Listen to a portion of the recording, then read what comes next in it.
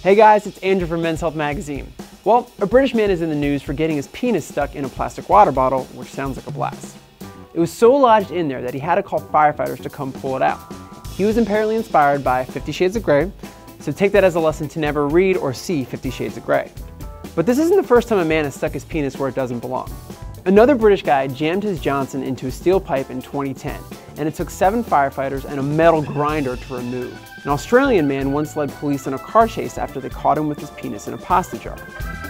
Guys have stuck their schlongs in rolls of tape, wedding rings, park benches, and toasters, all in the name of, well, we're not sure what exactly. But at least they had fun.